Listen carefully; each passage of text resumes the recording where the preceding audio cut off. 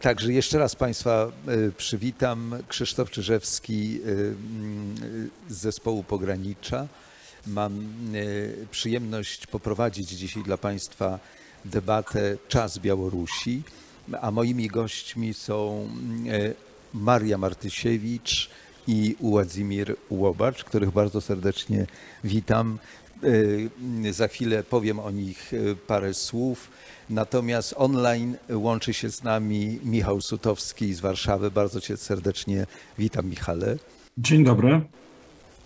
Jesteśmy w Międzynarodowym Centrum Dialogu w Krasnogródzie. Nieopodal dosłownie kilkanaście kilometrów stąd granica z Białorusią zamknięta, ta otwarta z Litwą, która jest tutaj na, na wycią- wyciągnięcie ręki dosłownie dwa kilometry. Więc jesteśmy na pograniczu, w którym prowadzimy taki program rezydencyjny dla pisarzy, dziennikarzy, artystów z Białorusi od zeszłej jesieni. Jak Państwo wiecie, sytuacja dramatycznie się zmieniła. Właściwie mija rok, dokładnie 9 sierpnia to był ten dzień, w którym rozpoczęła się tak zwana białoruska rewolucja, którą pretekstem dla której były sfałszowane wybory prezydenckie w Białorusi.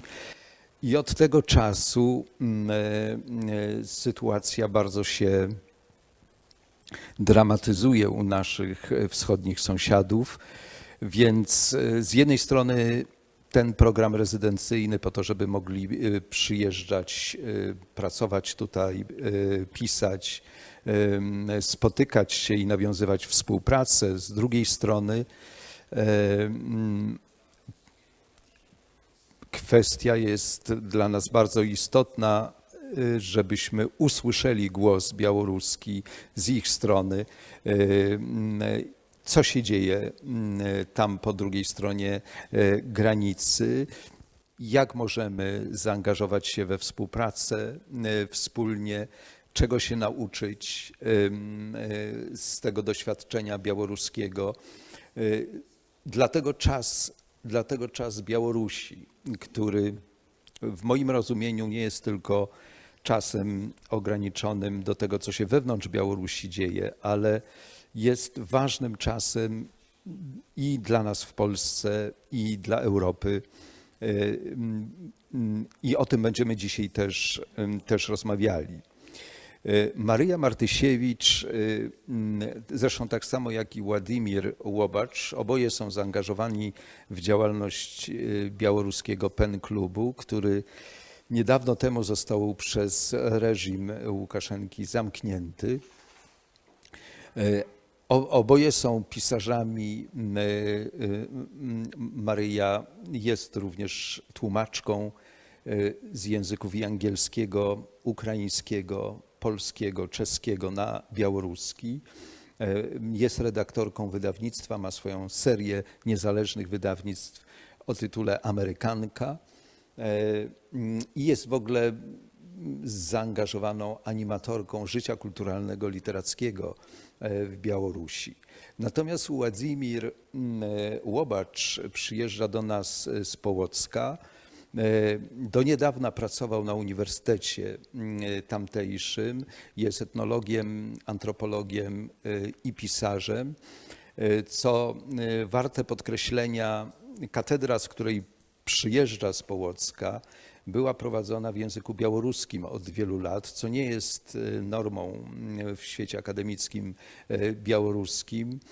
A do tego jeszcze właśnie między innymi z powodu swojego zaangażowania w protesty i w obronę i języka, i tożsamości białoruskiej został z pracy w tym roku zwolniony. Także ma stypendium w Polsce na ten najbliższy czas, y, między innymi również dzięki Fundacji y, Kalinowskiego, prawda? To jest taka fundacja diaspory białoruskiej, która działa między innymi w Polsce i pomaga osobom przyjeżdżającym z Białorusi i potrzebującym takiej pomocy.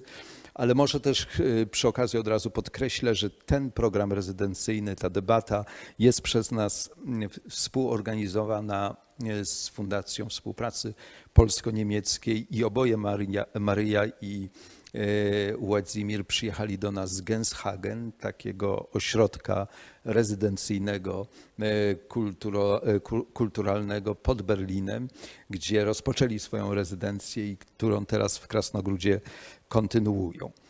Także mm, to tyle, y, by przedstawić Państwu y, kontekst naszego spotkania. I zanim przejdziemy do spraw y, związanych z tym, co się dzieje w Białorusi, mm, chciałbym Was zapytać o bardzo praktyczną sprawę. Jak to się dzisiaj podróżuje z Białorusi do Polski? czy do Niemiec. E, I wspomniałem, że ta granica jest blisko. Nasz patron tego miejsca, Czesław Miłosz, kiedyś jak jechał e, przed wojną z Wilna do Krasnogródy, to właściwie dojeżdżał pociągiem do Grodna, a potem e, furmankami żydowskimi, a potem już lokalnym transportem był dowożony do dworu. To było dosyć blisko. Natomiast dla Was, jak ta droga wygląda, Marysiu? Яна выгля... Добрый вечар ехалі мы сюды скажем так ехалі мы у Еўропу у Польшу ляцелі самалётам праз Маскву з даволі доўгай перасадкай у шарамецева і гэта выглядала больш-менш як у прынцыпе функцыянаванне беларускай культуры у савецкія часы калі напрыклад пераклад на беларускую мову не мог адбывацца ну просто замежных моў даводзілася звяртацца праз пасрэдніцтва Масквы так? І вось такое уцелесненне гэтай залежнасці адбылося і з нашай вандроўкай. Як бы мы ехалі суткі ў Еўропу у Польшчу. Амаль. Ну, Марія позначила наш маршрут.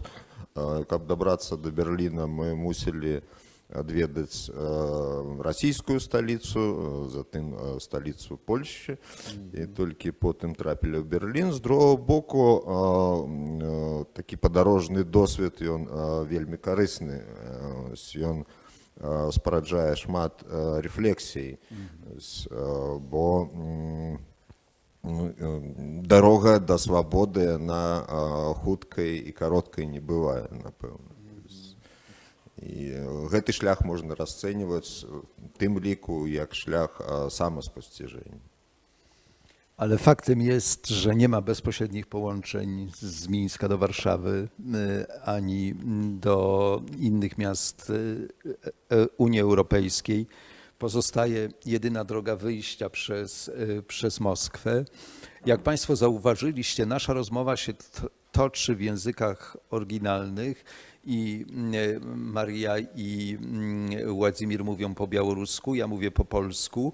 Natomiast jest ta rozmowa na żywo tłumaczona i mm, większość z nas jest na webinarze, na Zoomie i tam jest bezpośrednie tłumaczenie z języka białoruskiego i na polski, i z polskiego na białoruski.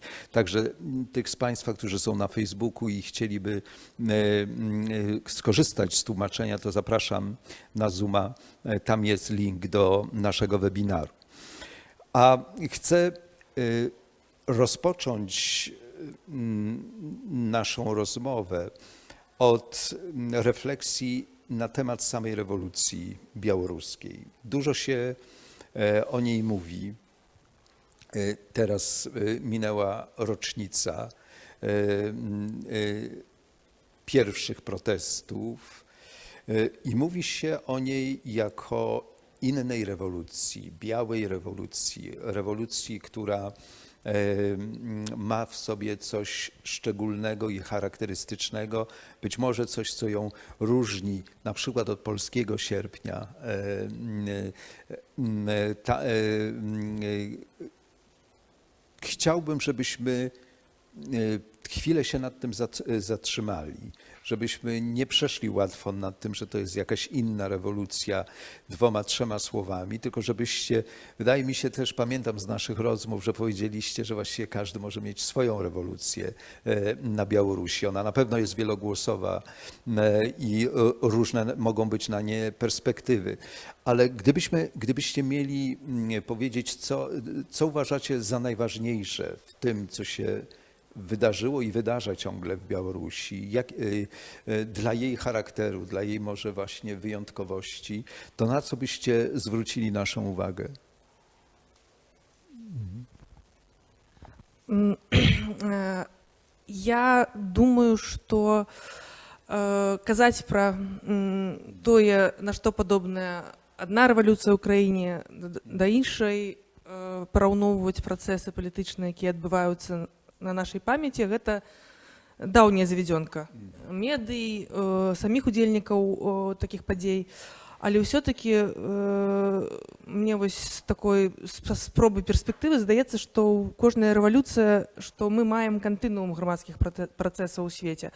І кожная рэвалюцыя можа мець э, вельмі шмат падабенстваў з рознымі краінамі, нават з такімі, э, пра якія самі ўдзельнікі пратэстаў не чулі. І гэтыя метады, которые выкарыстоўваюцца і гэтыя ўплывы, у беларускай рэвалюцыі мы можам знайсці э, праявы і салідарнасці напрыклад памаранчовай альтэрнатывы так якая была ў польшчы. Гэта і прыкметы га- ган- гандызму так за которые нас моцна крытыкавалі э, пэўныя суседзі гэта і э, э, аксамітная рэвалюцыя з негвалтоўным падыходам. Э, ну мы можам знайсці шмат параўнанняў і ўсе яны дарэчныя але ж все адно кожная рэвалюцыя гэта свой тв- твор як як бы асобны твор. А што здаецца мне самым галоўным у тым што адбылося ў беларусі гэта напэўна тое што о, выйшаўшы тады на пратэсты на плошчу на мірныя акцыі сотні тысяч беларусаў зрабілі так як хочацца ім. Яны дзейнічалі так як хацелі. Падкрэслена дэманстравалі сваю волю. Ніхто не хацеў гвалту яго не адбылося з боку пратэстоўцаў. Крыві магло быць значна больш так таксама не было. Яны нібы гэта была такая рэвалюцыя селфі. Нібы людзі глядзелі на сябе праз iphone праз смартфон і э, бачылі што яны самі сабе падабаюцца і гэтую фотку можна посціць і вось такі такая э, э, соцсеткавая прыгожая карцінка спадабалася самім нам і ну просто стварыла нас як такую новую нарэшце абуджаную супольнасць э, і я думаю што што б зараз не адбывалася гэтыя э, даволі няпростыя часы э, часы контррэфармацыі скажем так рэпрэсіі которые мы перажываем зараз яны як бы э, былі б яшчэ больш цяжкімі калі б не гэтае разуменне што ўсё зроблена так як мы хацелі Ty przyjeżdżasz, jak tylko podkreślić, że to nie jest Mińsk, prawda? Który no. żeśmy obserwowali w mediach. Так, то, э, ну, Полацк, э, хоць і самы старажытны горад Беларусі, але ў гэтай сітуацыі э, вот, прыйшло адчуванне, што незалежна дзе ты жывеш, это Полацк, Пінск, Мінск, Віцебск, э, мы пераследуем э, адныя мэты, мы выступаем за адно і тое ж. І гэта вот вельмі важны, на мою думку, вынік рэвалюцыі, што пасля доўгіх гадоў такой атамізацыі, калі кожны быў сам па сабе, нейкім чынам выжываў, нейкім чынам а, забяспечваў сабе такую эканамічную стабільнасць. І тут раптам а, людзі зразумелі і ўбачылі, што яны ўяўляюць адзінае цэлае. І гэта было найбольш бачна ў вялікіх гарадах, калі да гэтых падзей э, жыхары мікрараёнаў папросту не ведалі адзін аднаго. Зараз сталі ствараць і дваравыя супольнасці. І гэта вот салідарнасць тая ж самая тут- То бок мы адчулі сябе найперш народам, які хоча і патрабуе ну, справядлівасці прынамсі. Chce dociec y, y, w charakterze rewolucji y, białoruskiej i tego, dlaczego dzisiaj, a zresztą wkrótce po pierwszych protestach, reakcja władzy była tak, tak brutalna. Bo sam protest, jak wspominacie, miał charakter pokojowy, biały, z twarzą kobiecą, dodajmy, y, czyli kobiety bardzo rychło wyszły na pierwszą linię frontu, e, też spodziewając się, że, że wobec nich ta przemoc zostanie powstrzymana e, e, szybko i że nie będzie eskalowana. A, a przy tym jednocześnie te oczekiwania czy żądania e, opozycji protestujących nie były zbytnio wymagające, prawda? One domagały się po prostu e, wolnych wyborów, e, zaprzestania przemocy, no i powrotu do konstytucji z 1994 roku, prawda? To właściwie w tych trzech punktach można by zawrzeć cały program tego ro- protestu. Czyli wydaje się nie za wiele, a mimo to reakcja władz okazała się y, nad wyraz brutalna y, i ta przemoc właściwie eskaluje do dzisiaj. Jak, y, gdzie widzicie wytłumaczenie tego? Якраз а, адсутнасць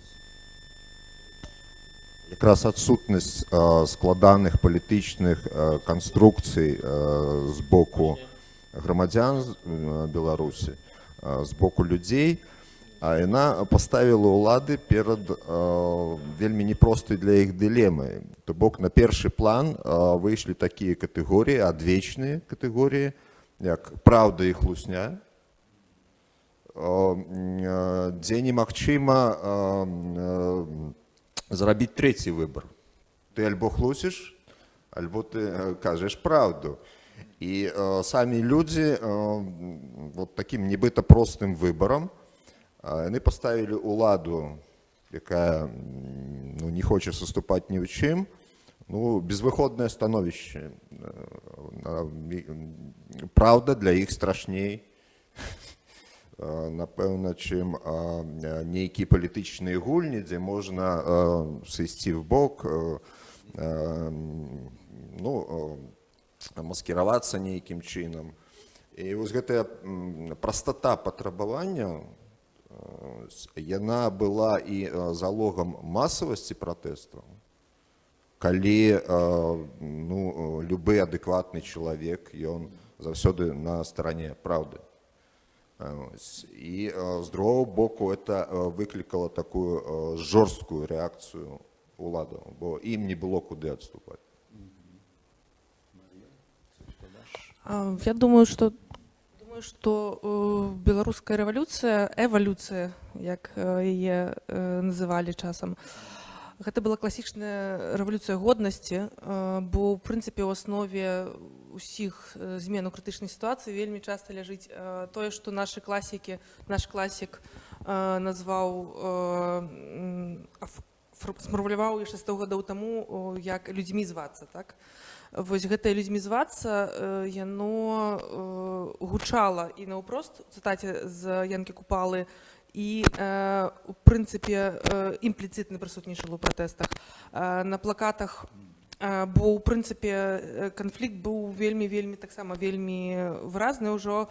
Людзей галава дзяржавы наўпрост абражаў у стылі экрану і яны адказвалі што не мы не жанчыны выходзілі з плакатамі мы не оўцы мы не наркаманы мы не прастытуткі або казалі так так так іранізавалі з гэтага то бок гэтае права быць народам быць годнымі людзьмі і яно э, было гэта падставовае права э, права і яно э, было праяўленае А што тычыцца э, вось гэтага гвалту мне здаецца што скажем так э, ён э, гвалт быў падрыхтаваны загадзя э, і улады вельмі хацелі каб э, людзі э, былі ўзлаваныя і пайшлі на іх э, ну, з камянямі але э, наколькі я бачыла потым э, нават калі прапаганда спрабавала паказаць што пратэст пароду меў гвалтоўны характар ім даводзілася у них не было нават кадру для гэтага дастаткова ім даводзілася браць кадры з іншых краін. Э, і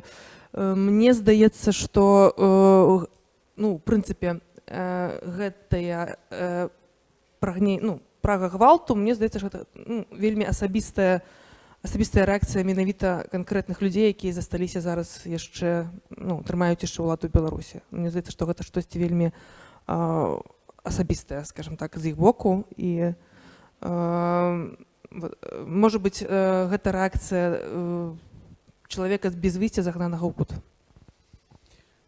Bardzo ciekawe, że przywołałaś y, rewolucję, ewolucję, że to nie jest mm, rewolucja, a bardziej ewolucja, co wskazywałoby na to, że raz, że rozumiecie, że to jest długi dystans, że to jest, bo cza, czasami ze strony komentatorów z Polski czy z, y, ze świata jest taki rodzaj niecierpliwości, że już y, to się wszystko rozeszło po kościach, że nie ma efektów, prawda? Natomiast y, obserwując z Waszej perspektywy, jest dużo większa cierpliwość, mimo że cierpienie jest większe też i że żyjecie w bardzo dużej opresji, tracicie pr- pracę, tracicie środki do życia.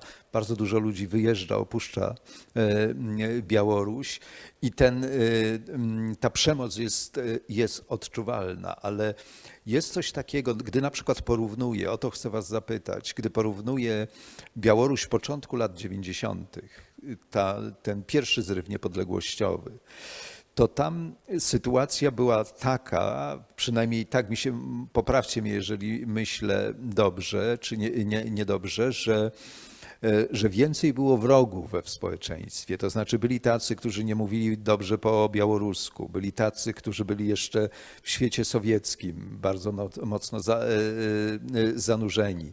I, i, czyli było wiele grup społecznych ludzi, którzy nie czuli się komfortowo z tą rewolucją niepodległościową Białorusi, u, e, uważali się za gorszych i myślę, że ten kapitał zagospodarował Łukaszenka, jeżeli się, jak się pojawił jako taki batka, który ich tam przytuli.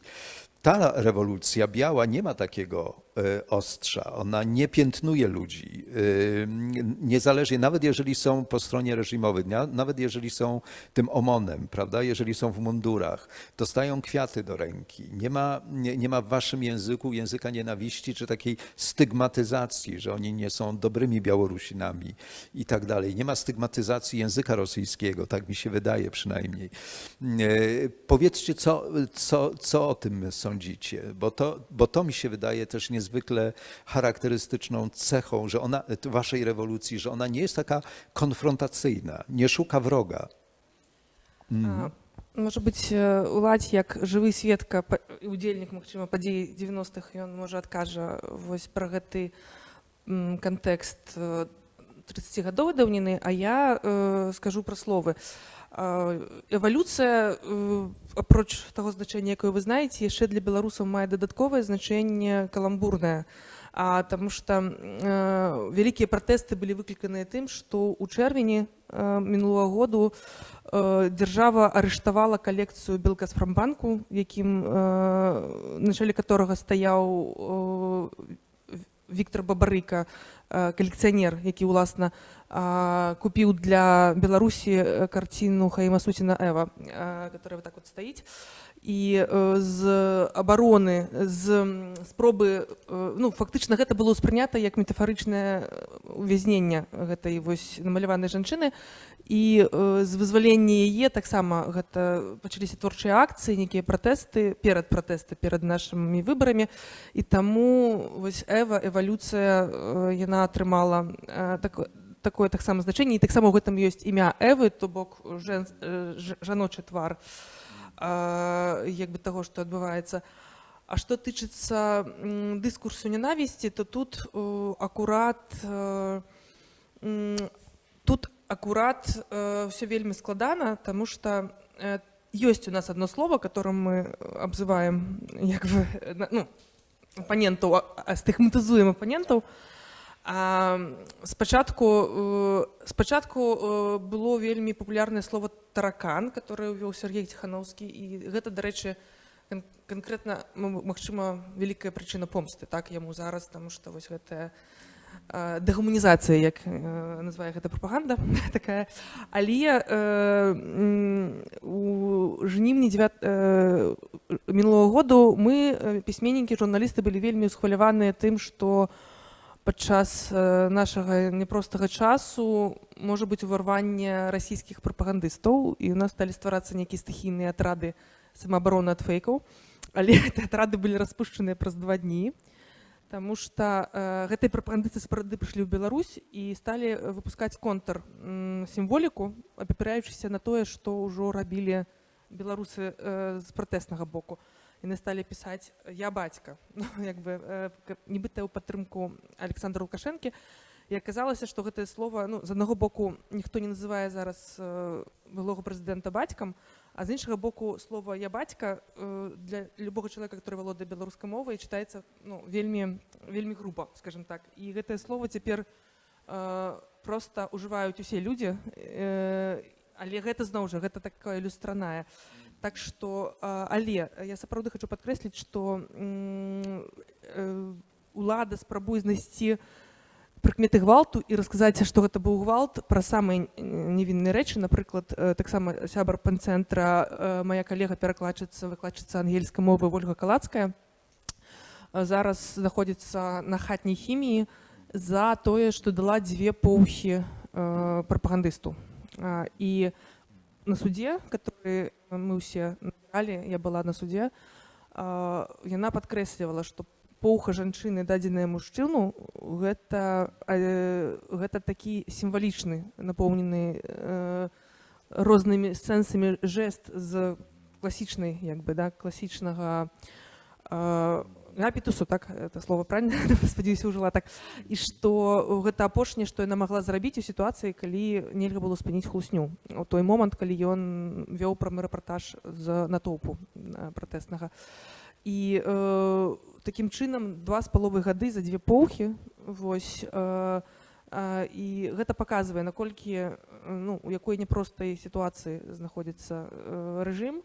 Э, жанчыны сядзяць за тое што просто э, кранулі рукой э, паліцыянты і гэта зафіксавалі на камерах. Э, гэта м, насамрэч так э, ну як бы вельмі вельмі э, іканічна так вельмі добра паказвае э, наколькі наколькі ад нас чакаюць гвалту і наколькі все-таки мы яшчэ больш моцныя каб яго стрымаць каб не было гэтага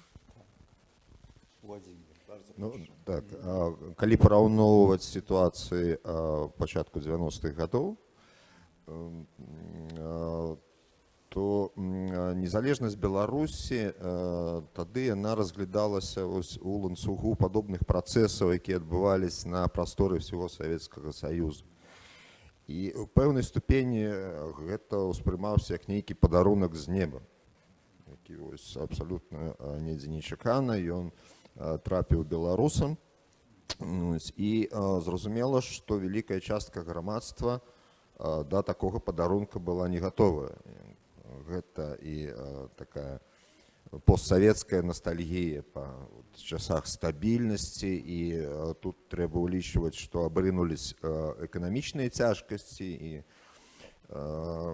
гэта все ўплывала на свядомасць і калі параўноўваць падзеі пачатку 90-х з цяперашняй то мне вот э, э, на розум прыходит такая этнаграфічная паралель что э, каб спячы хлеб трэба замесіць цеста і пакуль цеста не падыдзе не падымецца ты не зможаш спечы хлеб. І вось гэтыя гады э, беларускае цеста яно выспевала і тут есть яшчэ одна асаблівасць что калі цеста падымаецца назад яго ўжо в муку ператварыць немагчыма і якраз двадцаты год паказаў што надышоў час пячы беларускі хлеб ён будзе сапраўдным і вот не клеячы на все высілкі уладаў на гвалт і рэпрэсіі гэты працэс незваротны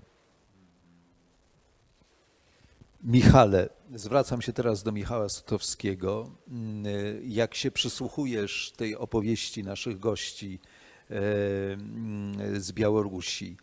E, I patrzysz na to z perspektywy Warszawy, Polski.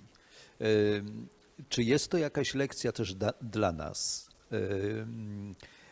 ze strony Białorusi? Czy to doświadczenie, to co się tam wydarza, koresponduje w jakimś sensie z wyzwaniami, przed którymi sami stoimy w naszym kraju? Jak, jak na to się zaopatrujesz?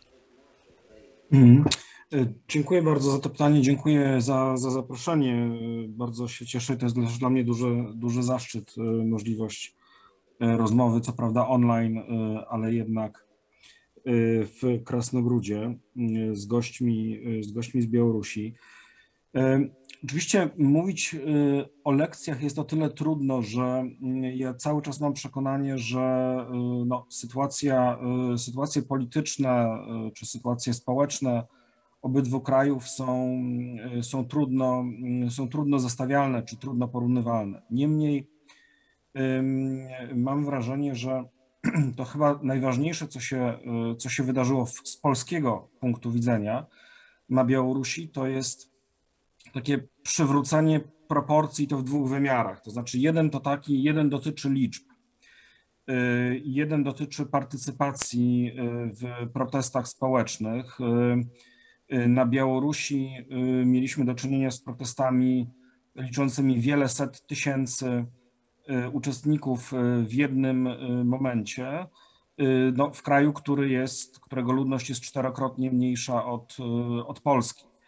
W Polsce takim kulminacyjnym momentem protestów przeciwko obecnej władzy były oczywiście wystąpienia związane z kwestią praw kobiet, a konkretnie protesty przeciwko orzeczeniu Trybunału Konstytucyjnego w sprawie zakazu aborcji. I wtedy, według niektórych szacunków, mowa była o 400-450 tysiącach osób, w przeważającej mierze również kobiet, na, na ulicy, co było zresztą wydarzeniem bez precedensu, bo różni historycy społeczni wskazują na to, że jeśli chodzi o protesty uliczne, to prawdopodobnie te nasze protesty z jesieni 2020 roku były no, największymi wystąpieniami ulicznymi w, Polsce, w nowożytnej historii Polski. Są tam spory, czy, czy da się z tym porównać rok 1937 i strajk chłopski. Ale po II wojnie światowej ulicznego, masowego wystąpienia w proteście przeciwko władzy o tej skali, o tej skali nie, nie było. Niemniej to wszystko niesłychanie blednie przy, przy skali protestów białoruskich. I to myślę, że była też taka lekcja dla dużej części polskiego społeczeństwa, które mam wrażenie przez wiele lat tkwiło w stosunku do Białorusi w takim wyższościowym samozadowoleniu.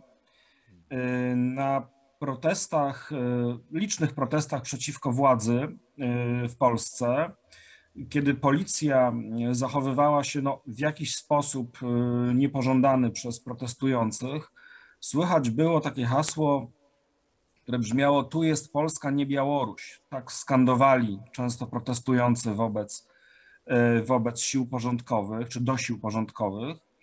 I oczywiście na powierzchni to miało znaczyć tyle, że to jest kraj, to Polska, to kraj Unii Europejskiej, to kraj liberalnej demokracji. Tu są pewne standardy, które nie dopuszczają prawda, do, do zachowań, na przykład brutalnych zachowań wobec, wobec demonstrantów.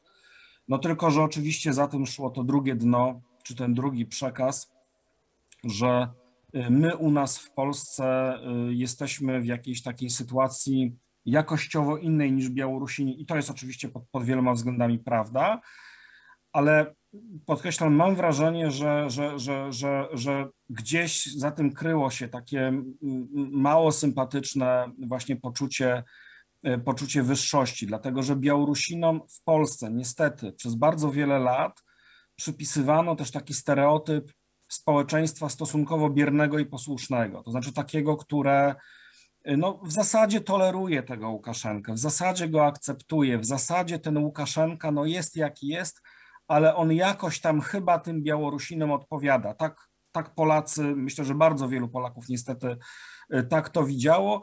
czując przy tym jakąś formę satysfakcji, prawda, że u nas do czegoś takiego, to my byśmy do czegoś takiego nie dopuścili, prawda. No i po czym okazało się, że po 2015 roku y, pozwalamy władzy przesuwać coraz bardziej granice, ograniczać coraz bardziej y, y, wolności obywatelskie. I mimo sporego zaangażowania obywateli, bo Polska nie ma wielkich tradycji masowych wystąpień ulicznych, no nie jesteśmy, mimo, mimo sporych wystąpień, nie jesteśmy w stanie y, tego procesu, albo tylko w bardzo ograniczonym stopniu jesteśmy w stanie ten proces zatrzymać.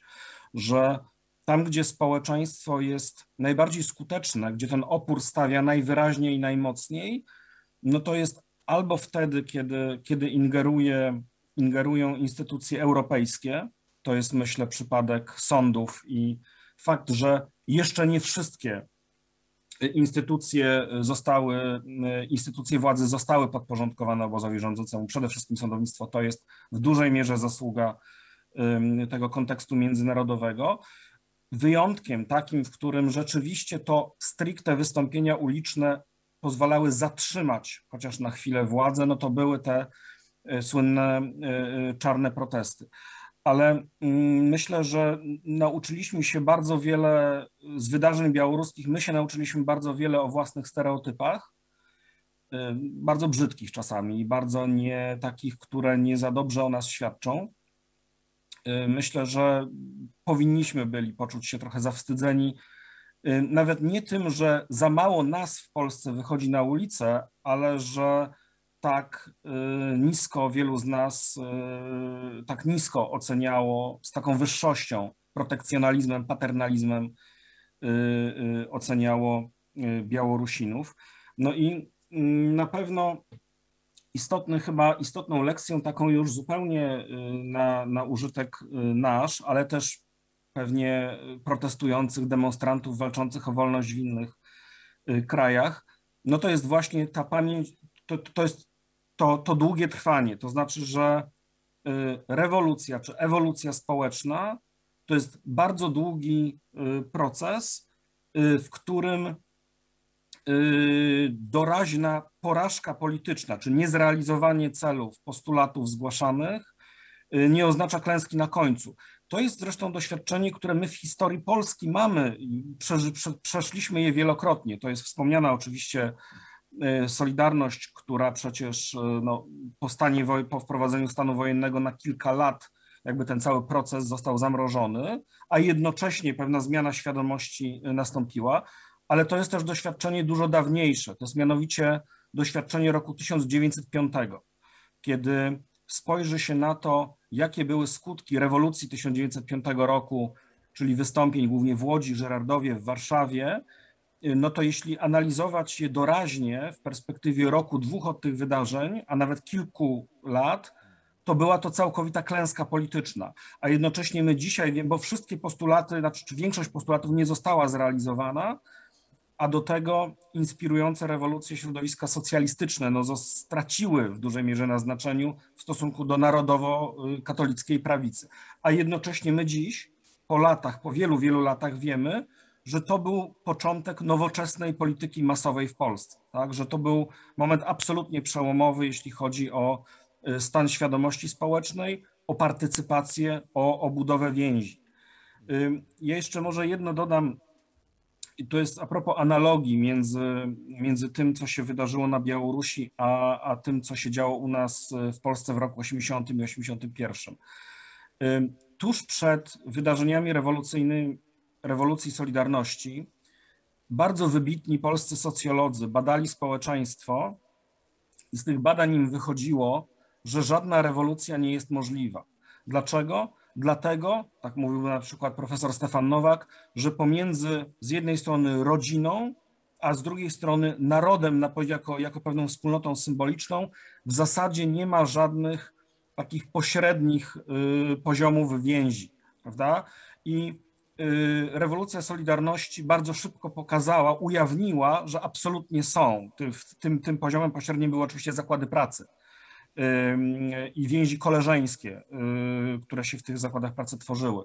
Ja myślę też, że wydarzenia, wydarzenia białoruskie po raz kolejny pokazują, że mm, więź społeczna i możliwość współpracy y, to jest y, coś, co może pozostawać bardzo długo ukryte i ujawniać się w momencie, w momencie jakiegoś takiego zgęszczenia, zgęszczenia energii y, politycznej. Bardzo Ci dziękuję za tą wypowiedź. Do, do kilku elementów y, chciałbym y, y, nawiązać. Znaczy, też pamiętajmy, że nasz sierpień 80-81 roku też nie, nie, nie obalił władzy, prawda? To był też y, ogniwo jakiegoś, y, jakiegoś procesu. I przypomina się, ważny jest ten aspekt liczbowy, od którego zacząłeś. No, y, 16 sierpień w Mińsku to, to jest manifestacja 450 y, tysięcy, prawda? Tak. Y, Więc, y, więc rzeczywiście ta y, liczbowa siła jest, y, jest bardzo wymowna ze strony y, białoruskiej. Natomiast co chcę podkreślić, bo ty powiedziałeś o takim naszym wyższościowym stosunku wobec Białorusinów, ale ten wyższościowy stosunek nie dotyczy tylko Białorusinów. To znaczy, co jest jakaś skaza naszych protestów, że my musimy być wyżej od kogoś, żeby protestować. I często od tych, którzy są naszymi sąsiadami po drugiej stronie ulicy, z innego stronnictwa, inaczej myślący i tak dalej.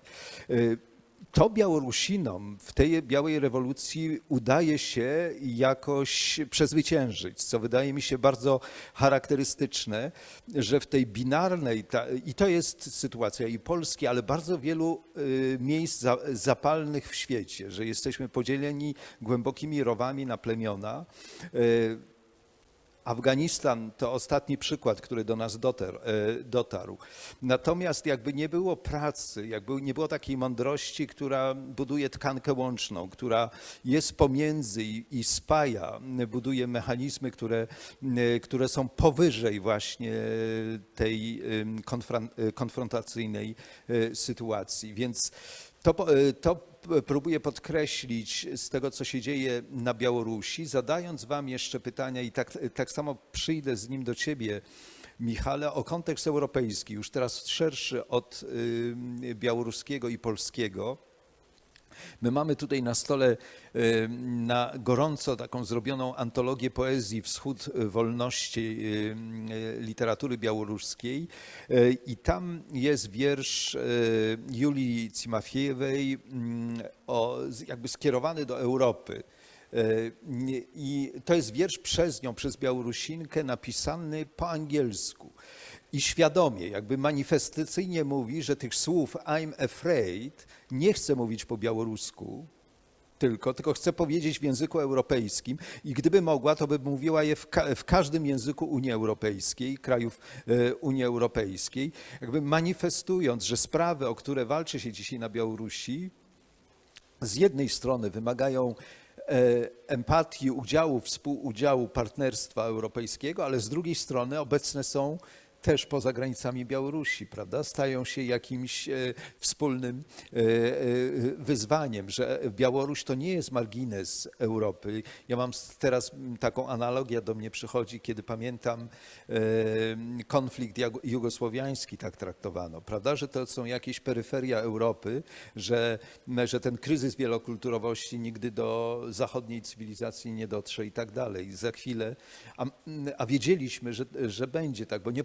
potrafiliśmy obronić go, mówię o społeczności międzynarodowej w samej Jugosławii, więc pojawił się w Barcelonie, w Londynie, w Paryżu y, i tak dalej.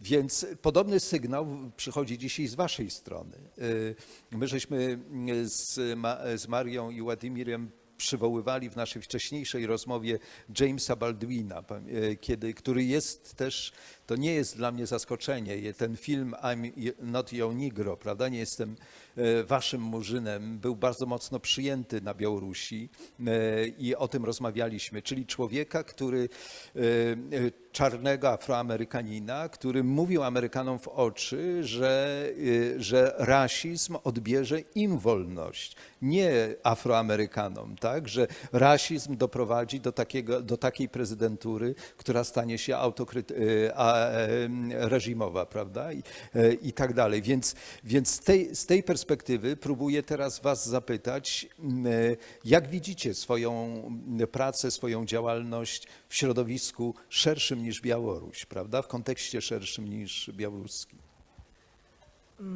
калі э, м, верш Юлі Тимофеевай э, для мяне як для літаратурнага крытыка вельмі удалы прыклад э, каб патлумачыць э, як змянілася ў прынцыпе павестка як змянілася нарацыя беларускай культуры э, пасля жніўня двадцатого году.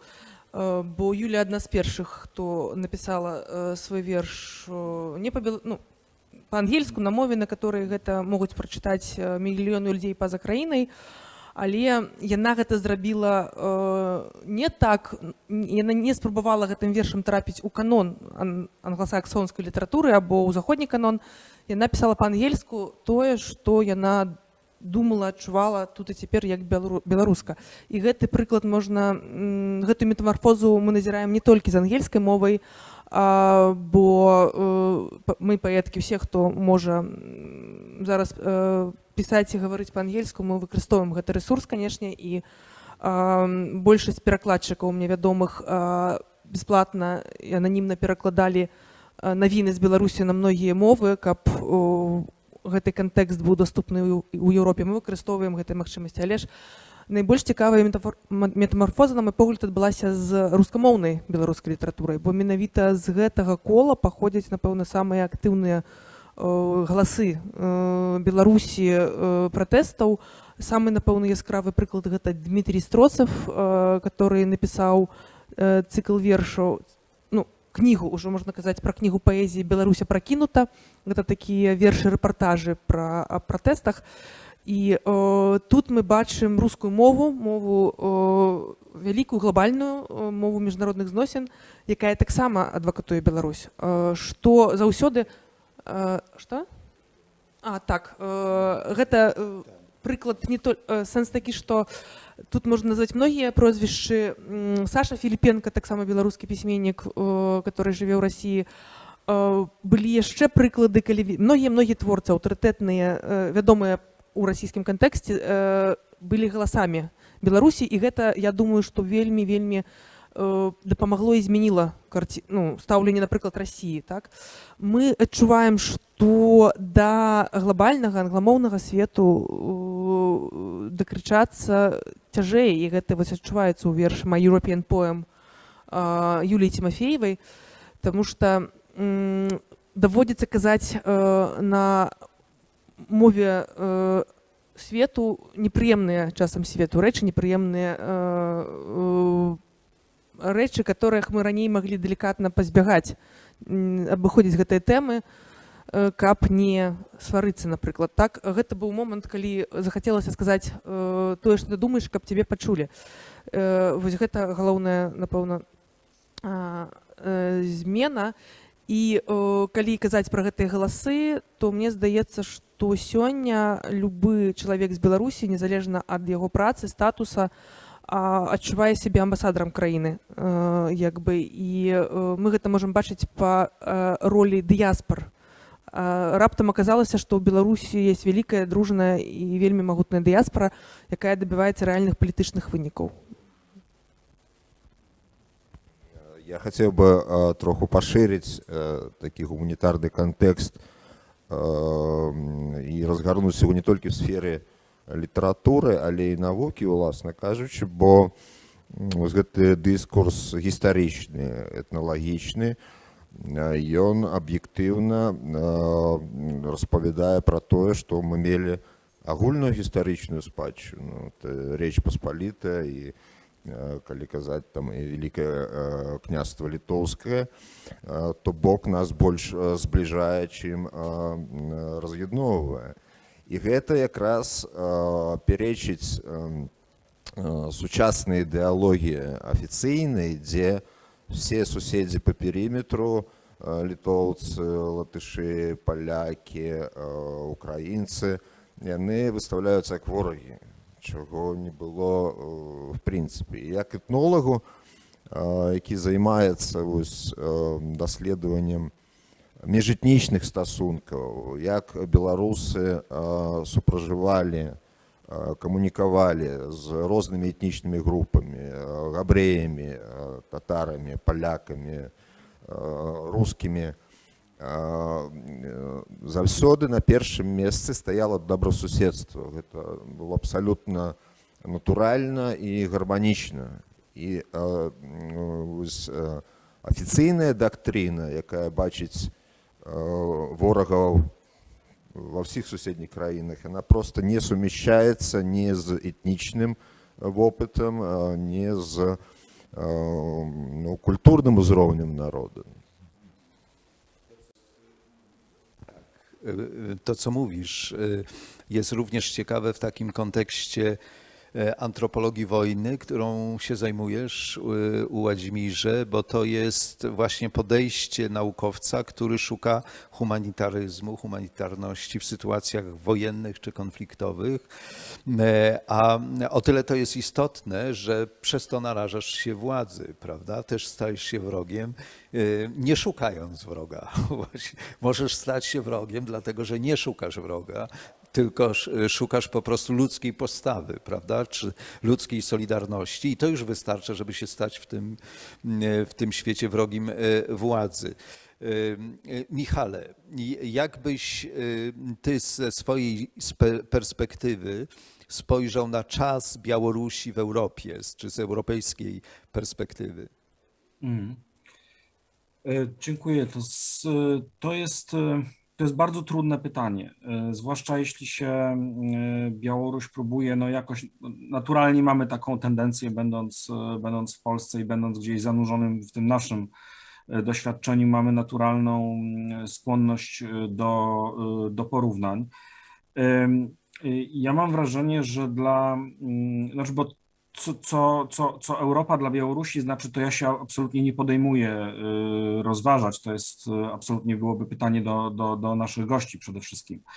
Natomiast próbując spojrzeć na to, co dla Unii Europejskiej na przykład Białoruś znaczy i mogłaby znaczyć, no to mm, mam wrażenie, że to jest taki drugi i kolejny już po, y, po Ukrainie, taki test, z którego zdaniem Y, Europa ma wyraźny y, problem, bo to jest mianowicie test tego, czy Unia Europejska może być wspólnotą y, aksjologiczną. Oczywiście wspólnota aksjologiczna nie oznacza jakiegoś idealnego bytu, który w polityce kieruje się tylko i wyłącznie pryncypiami, ale to jednakowoż oznacza taką sytuację, w której istnieje pewien horyzont wartości, który nawet jeśli nie jest w pełni realizowany, to stanowi punkt odniesienia. To znaczy, to jest, że to jest taki byt polityczny, w którym panuje hipokryzja w dobrym sensie tego słowa. To znaczy, że jeśli się jakieś wartości nie realizuje, to trzeba się z tego przynajmniej tłumaczyć, albo rodzi to polityczne koszty. I taka wspólnota aksjologiczna też to jest coś, co pokazuje y, członkom tej zbiorowości, no, że są czymś więcej, że łączy ich coś więcej niż układy y, gospodarcze, czy wprost y, wspólnota kulturowo-etniczna, tak, na poziomie głównie w Europie państw narodowych, choć, y, choć nie tylko. I, I o ile w przypadku Ukrainy mam wrażenie, Europa tego testu nie zdała w ogóle, w przypadku Białorusi, oczywiście mam na myśli kontekst konfliktu inwazji rosyjskiej na Ukrainę w roku 2014.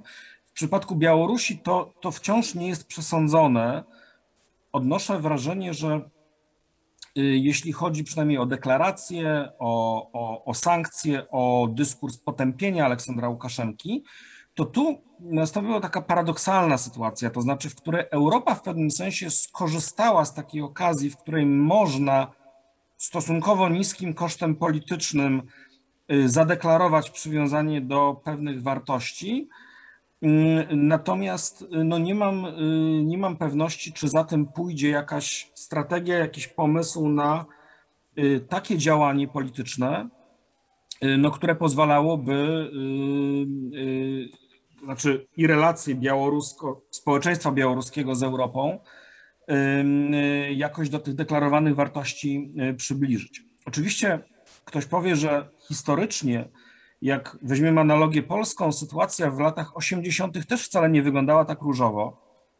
Bo jeśli sobie przypomnimy y, politykę najważniejszych państw y, y, europejskich, zachodnioeuropejskich tamtego czasu, no to państwo niemieckie no jednak było nastawione raczej na normalizację stosunków z reżimem Wojciecha Jaruzelskiego.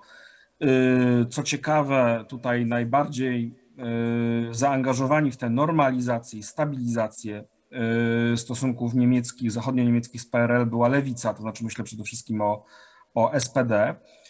Y, Z zielonymi było trochę inaczej. No w przypadku Francji było trochę podobnie, to znaczy państwo francuskie jednak kalkulowało w kategoriach takiego realizmu politycznego, nie zawsze dobrze pojętego.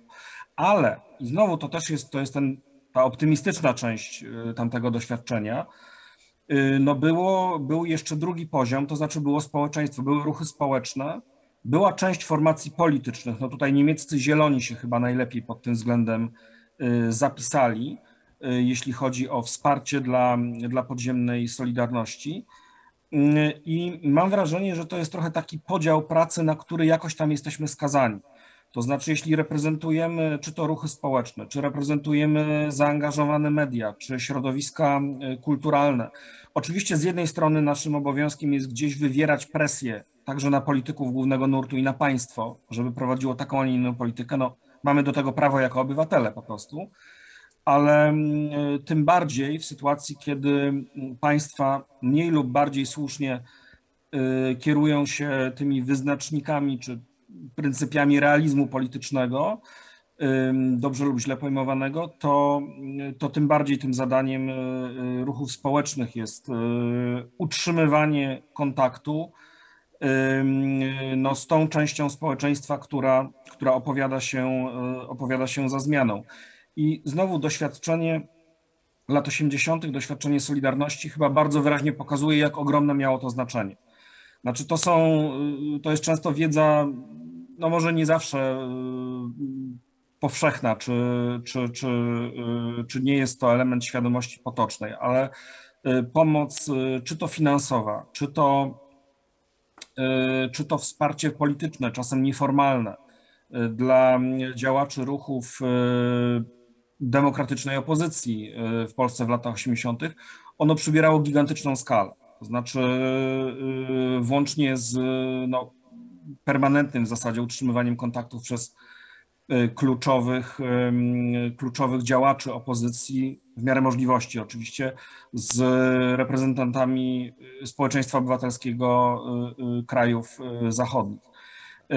Także to jest, to jest w pewnym sensie to, czy można prowadzić taką działalność, mówię teraz z perspektywy Unii Europejskiej, to jest trochę test na to z jednej strony, czy, czy właśnie jesteśmy wspólnotą kierującą się czymś więcej niż bardzo doraźnie rozumianym interesem, ale z drugiej strony to jest też, już nieco bardziej cynicznie może mówiąc, to jest też wskaźnik tego, czy jako wspólnota polityczna Unia Europejska ma ambicje y, promowania, ktoś powie eksportowania swojego modelu, y, czy też jest y, w fazie takiej desperackiej, defensywnej, mm, znaczy, czy jest w fazie obrony tak naprawdę status quo, y, obrony stanu posiadania i, mm, y, i redukowania wszelkich ryzyk, które mogłyby temu stanowi posiadania y, zagrozić. No i doświadczenie historyczne chyba pokazuje, że no, wspólnoty, które tracą te ambicje, to znaczy, żeby się, żeby też promieniować na otoczenie, no, że to, to świadczy o jakiejś fazie schyłkowej. Prawda? Znaczy, krótko mówiąc, w tym sensie także Białoruś jest testem, fundamentalnym testem egzystencjalnym dla, dla Unii Europejskiej. Tak, ja absolutnie y, czytam y, to w Twojej wypowiedzi jako wyzwanie i test dla, dla, dla, dla tego, na jakim fundamencie rzeczywiście Europa, Unia Europejska jest y, budowana i czy ten horyzont aksjologiczny, jak go określiłeś, jest y, czystą utopią y, y, i oderwanym od rzeczywistości idealizmem, y, bo łatwo wtedy wyrzucić to y, na margines, że to nie jest prawdziwa polityka, y, jest inna, czy też y, choćby, choćby ten horyzont był nieosiągalny, to czy w ogóle jesteśmy na drodze ku niemu, prawda? Czy to jest, tak jak powiedziałeś, punkt odniesienia y, dla naszych działań? I też w Twojej wypowiedzi pojawiły się już sygnały, pytania, które chciałbym skierować do naszych gości, może już na koniec tej rozmowy, a mianowicie jak moglibyśmy, Maryjo Ładzimirze, pomóc Białorusi, Białorusinom, y, w jaki mądry sposób budować platformę współpracy, y, pomocy. Są, y, są kwestie, z którymi radzicie, sobie doskonale. Na przykład media społecznościowe to przypominam, że reżim Łukaszenki zamknął internet, starał się położyć autorytarną mm, e, e, rękę na mm, e, internecie, ale sposób, w jaki został wykorzystany ten, ta aplikacja Telegram, czyli niech to mm, wielomilionowy właściwie sieć porozumienia i, i kontaktów, już nie mówiąc o, o innych, które również nie, nie składają bro, e, broni, jak Radio Swoboda, czy, e, czy Nasza Niwa, prawda, czy e, Biełsat inne media. Więc mimo, e, mimo e, radykalnych restrykcji znajdujecie sposoby alternatywne, wykorzystując nowoczesną technikę, wy, wykorzystując IT, e, technologię do tego, żeby budować opór społeczeństwa obywatelskie i tą solidarność, o której mówiliście. Ale jakie są potrzeby? Jakie wskazalibyście kierunki takiej pomocy, która by nie przeszkadzała, nie narażała, nie rujnowała, a budowała, y, po- że realnie wam pomagała.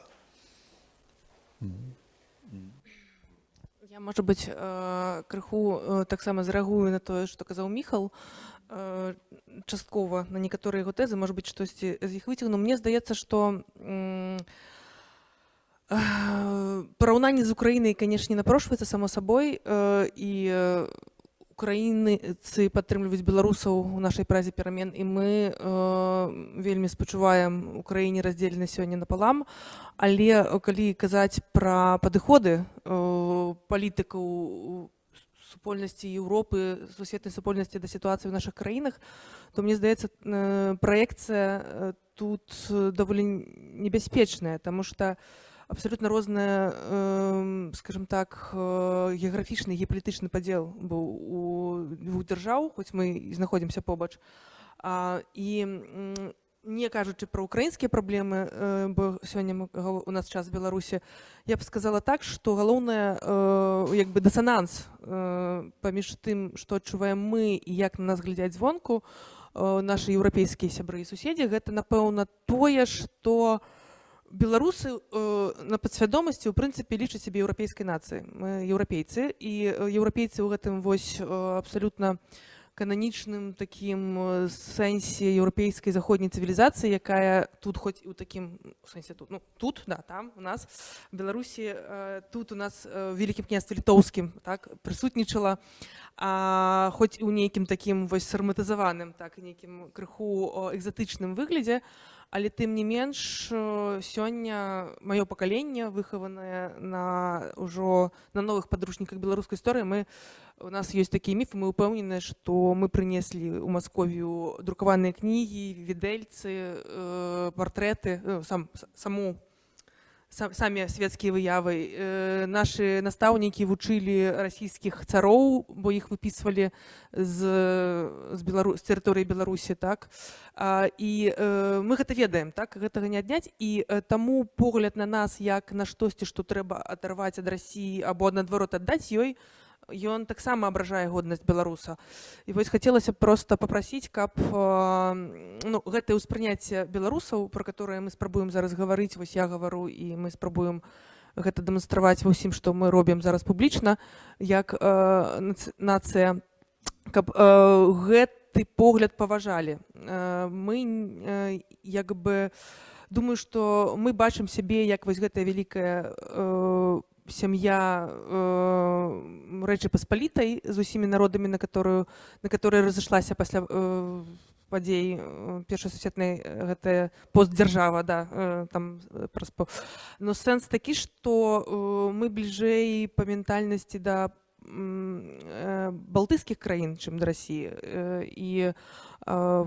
э, і э, Польша Украіна гэта нашы суседзі гістарычныя стратэгічныя партнёры але але пры гэтым мы таксама э, э, разумеем што мы заўсёды будзем сатруднічаць супрацоўнічаць з рассіяй і мы заўсёды будзем хабам тэрыторыі паміж Еўропай і рассіяй мы хацелі б каб гэтыя дзве магчымасці былі нам адкрытыя і гэтую магчымасць э, напэўна таксама ўсім давядзецца паважаць. Мы не будзем выбіраць адну адзін бок. Мы будзем адкрыты ўсім. А, і я думаю што гэта той тэзіс который будзе найбольш папулярны э, у любога палітыка які прыйдзе да перамогі с- калі ў беларусі будуць свабодныя выбары. а і я таксама я казала про тое што мы э, вот я владимир э, кшыштаф э, наш перакладчык за кадрам мы ўсе свайго роду амбасадары беларусі сёння І я хацела б каб гэтая амбасада была як найбольш прадстаўнічай. Да адвакатуцыі беларусі могуць далучацца усе людзі якія спачуваюць у краіне і э, рабіць няшмат але просто як бы расказваць пра тое чым ёсць сёння беларусы і звяртацца можа быць больш э, да прыслухоўвацца да волі народа а не да э, магчыма геапалітычных і бізнес-інтарэсаў якія на жаль часам мы адчуваем як э, штосьці важнае для нас прадаецца на гэтай э, дзеля гэтага. І мы прынцыпе спадзяемся што гэта нарэшце наступіць э, той час у незалежнай гісторыі беларусі калі ўсё-таки будучыня нацыі будзе вырашацца э, самой нацыі і пры ўдзеле э, нацыі а не завочна як гэта было раней Ну, што датычыцца э, магчымай дапамогі, я э, скажу за можа быць сваю карпарацыю прафесійную. Э, э, вельмі важна, каб э, людзі, якія звольнены, якія не могуць э, займацца навуковымі доследамі э, на сваёй радзіме, яны не страцілі свой прафесійны досвед, Таму што гэта мэтанакіраваная палітыка, паколькі і гісторыкі і этнолагі культуролагі яны прадукуюць э, веды нацыі пра самую сябе. І гэта вельмі важна. і э, вялікі дзякуй што э, ўжо ёсць багата фундацый еўрапейскія якія прымаюць беларускіх даследчыкаў дзе яны могуць працягваць свае студыі Э, і э, незалежна ад таго дзе яны працуюць в архівах варшавы э, берліна ці э, там гданьска таліна рігі яны все адно працуюць на Беларусь гэта тое што ні в якім разе не прападзе ну і я спадзяюсь даволі хуткім часці стане грунтам новых падручнікаў якія прыйдуць у нашай школы. Так, я таксама хацела падзякаваць э, фундацыі пагранічай і краснагрудзі за тое што мы э, можам некалькі дзён тыдняў э, пісаць э, у спакойных умовах і так хацела б э, таксама ад імя напэўна вялікай культурнай супружнасці беларусі которая сёння э, застрашаная маргіналізаваная і фактычна адрэзаная ад сродкаў існавання э, сказаць што таксама вельмі хацелася б каб гэты няпросты пераходны і цёмны час не забіў культуру. Бо мы бачым ну гісторыі польшы і сярэдняй Еўропы паказвае як э, э, доўга рэчы которые ляжалі ў стале у дысідэнцтве як потым у прынцыпе э, ну запозненае іх вяртанне э, да чытача все-таки аслабляла эфект таго што рабілася. І э, хацелася б каб э, пас- пісьменнікі музыкі э, мастакі которые сёння змушаныя пакінуць Беларусь але і тыя которые змушаны сёння заставацца ва ўнутранай эміграцыі э, каб э, яны мы мелі магчымасць заставацца творцамі э, і э, каб культура беларусі не моцна пацярпела и не пережила это все.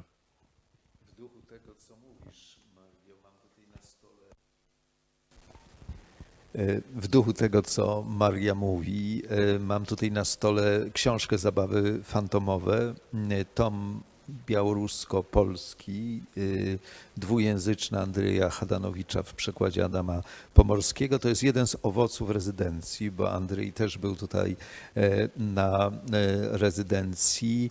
E, Ta sieć rezydencjonalna dla Białorusinów jest coraz gęstsza w Polsce i to też jest znak jakiegoś procesu. Pamiętam, jak było trudno na początku, kiedy zaczynaliśmy. Dzisiaj bardzo wiele miast Polski, zwłaszcza samorządów miejskich, właśnie otwiera się na e, różne sposoby e, pomocy, stypendiów, współpracy, środowisko krytyki politycznej, które reprezentuje Michał Sutowski, to e, wierny przyjaciel Białorusi od dawna i to jest kolejna taka wyspa, w której ta współpraca może się rozwijać.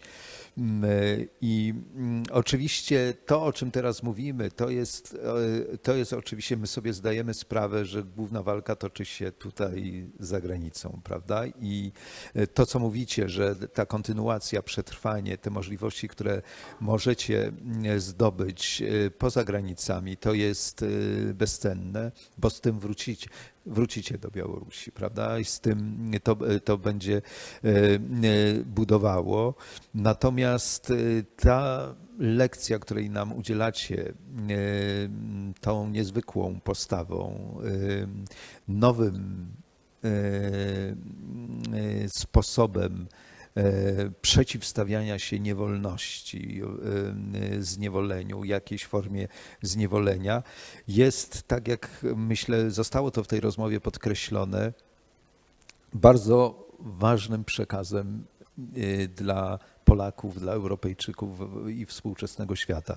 Myślę, że powinniśmy się nauczyć tego słowa ewalucja e, po polsku, bo w, tak jak Mario powiedziałaś, to za, y, zawiera zarówno ten żeński pierwiastek, jak i ewolucyjny, czyli działania w długim wymiarze e, czasu, jako procesu, jakiejś cierpliwości, która pozwala te wartości, o których mówił Michał, e, uczynić nie tylko fikcyjnymi, prawda, i oderwanymi od polityki.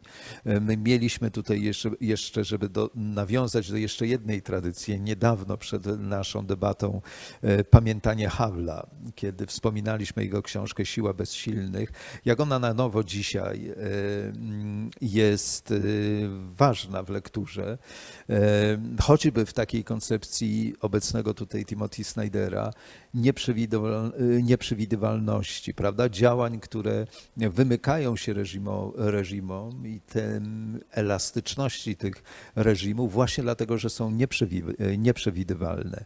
I y, wydaje mi się, że takie są prawdziwe wartości, że one się nie, nie, nie dają zestandardować, zamknąć w coś rozpoznawalnego, nad czym władza autorytarna potrafiłaby zapanować. Poezja jest e, tak samo jak Władimirze e, kultura tradycyjna e, jest tą siłą, która potrafi się z tego e, wyzwolić. Więc, więc tak roz, odczytuję tą, tą rozmowę jako czas Białorusi. Traktujcie Państwo i, i rozumiejcie to spotkanie i tę debatę jako wprowadzenie do refleksji o tym, Dlaczego Białoruś jest ważna e, dzisiaj? Nie dlatego tylko, że to rocznica rewolucji, że dalej trwa tam walka e, i e, eskalacja przemocy, że każda forma solidarności jest tutaj ważna, ale że tam walka toczy się o coś więcej niż tylko e, lokalna sprawa e, kraju we wschodniej, we wschodniej Europie. I myślę, że taki przekaz z tej, z tej e, rozmowy też e, wychodzi. I za to Wam bardzo pięknie e, dziękuję. E, Maria e, e, e, Martysewicz, Władimir Łobacz, Michał Sutowski byli gośćmi Międzynarodowego Centrum Dialogu w Krasnogródzie. Kłaniamy się Państwu bardzo i bardzo dziękujemy za tą rozmowę. Dziękujemy.